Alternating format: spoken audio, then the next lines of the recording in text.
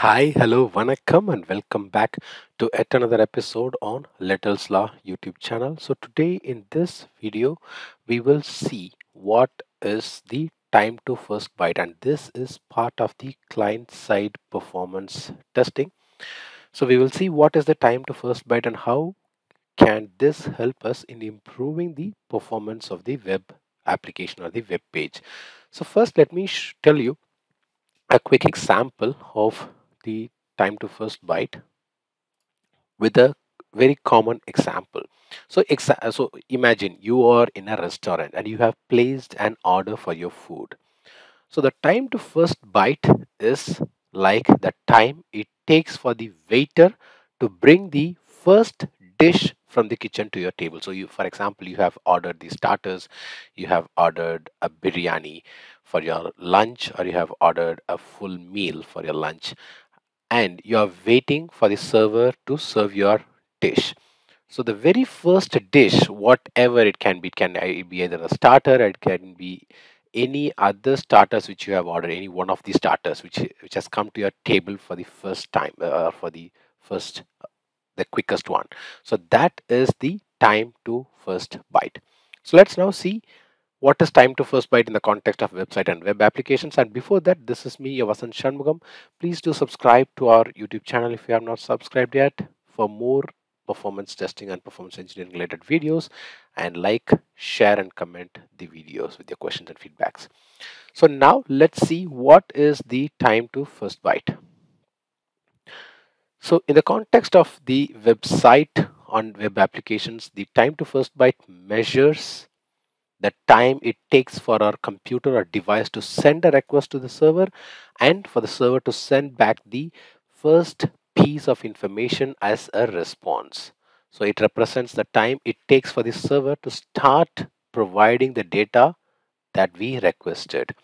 So how can we see the time to first byte? So in the browser, if we press F12, we'll open the developer tool. So this is one option. There is another option where we have the performance analyzer tool. So we will see about this performance analyzer tool separately in our another video. So we will see here a list of metrics so in this we have the time to first byte so for this amazon.co.uk the very first byte that we have that is that have reached us is is at 66th millisecond so now let's see what is a fast time to first byte mean so this means that the server is quick to respond and we will start seeing something on our screen sooner. On the other hand if it is slow the first time the, the time to first byte is slow which means the server takes a longer to respond and we will have to wait longer before any content appears. And this time to first byte can be influenced by various factors. So what are those factors? It can be uh, uh, the speed of our internet connection, the distance between us and the server, and how busy the server is.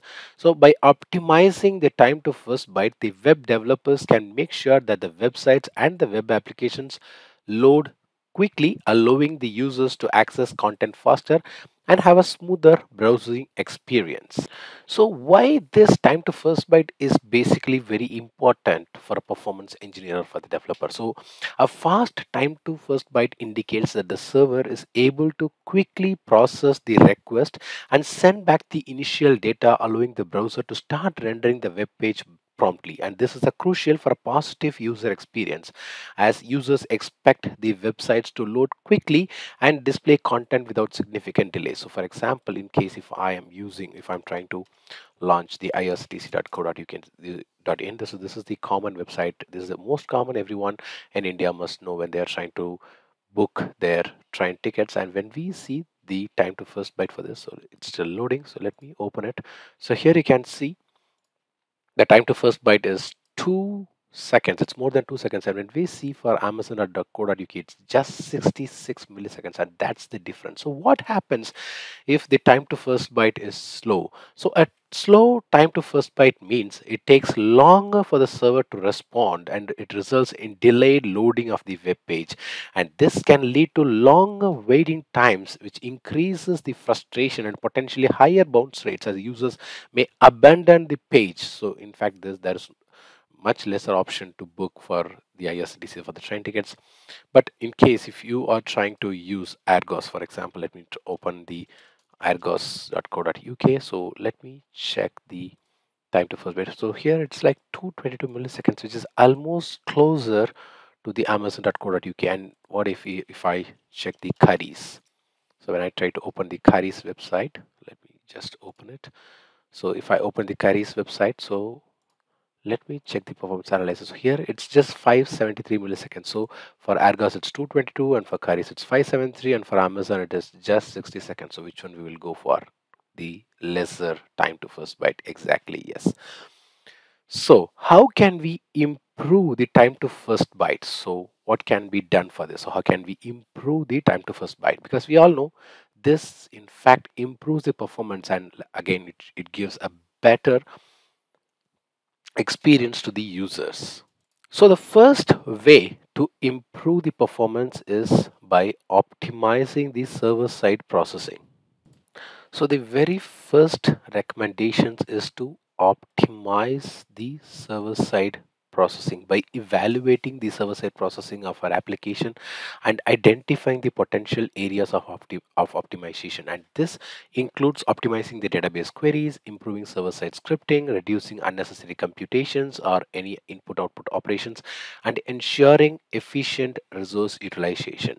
And when it comes to the minimizing the network latency, so network latency plays a significant role in the time to first byte. So to reduce latency, we should consider utilizing content delivery networks, which is the CDNs, to deliver static assets closer to the user's location and additionally enable HTTP2 or other protocols that support multiplexing and parallelism to reduce the number of round trips required to fetch resources.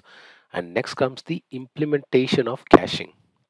So caching can greatly improve the time to first byte by reducing the need for the server to regenerate the response for each request and implementing the server-side caching mechanisms such as HTTP caching, headers, or in-memory caching to serve cached responses for subsequent requests with the same parameters. And next comes using the efficient data retrieval techniques. So when fetching data from databases or external APIs, by optimizing the queries or requests to retrieve only the necessary data. So by utilizing the database indexing or by utilizing the query optimization techniques and data aggregation to minimize the time required for data retrieval. And next comes the utilizing asynchronous operations. So offload time consuming operations to background processes or by utilizing asynchronous programming techniques. And this allows the server to handle multiple requests concurrently improving the responsiveness and reducing the time spent in the server queue. And next comes the optimizing of server configuration. So when it comes to the optimizing of server configuration, we should review our server configuration and ensure it is properly tuned for performance. And this involves adjusting server parameters such as connection limits, the thread pool sizes, the timeouts to handle the concurrent requests efficiently and then next comes the monitoring and analyzing the performance. So we should regularly monitor and analyze the performance of our application to identify the bottlenecks and areas for improvement. So how can we do this? So we can do this using the profiling tools the performance monitoring and logging to gain insights into the performance characteristics of our application and guide our tuning efforts and then when it comes to considering the load balancing and scaling so if our application experiences high traffic or increased load consider scaling our infrastructure horizontally or vertically. So adding more servers distribute the load across multiple instances by utilizing load balancing techniques to handle the incoming requests more effectively and efficiently. And then finally when it comes to prioritizing critical resources we should ensure, the developer should ensure that critical resources required for the initial rendering of the web page, such as CSS and JavaScript files, are prioritized and loaded early in the page load process. And this helps to minimize the time to first byte and provide a faster initial rendering of the page. So by implementing all these tuning recommendations, we can optimize the time to first byte and the overall performance and this results in faster response times. And in fact, this is just one metric and in fact, this will improve the overall performance by improving the user experience and by higher user satisfaction. However, it is important to note that the specific recommendations may vary depending on our application's architecture, the technology stack, and performance characteristics. So, overall, this is all about the time to first byte. So for more interesting and informative videos on performance engineering and testing, please do subscribe to our YouTube channel. Until I meet you in another interesting video, it's bye bye from Vasan Shanmugam and Little's Law.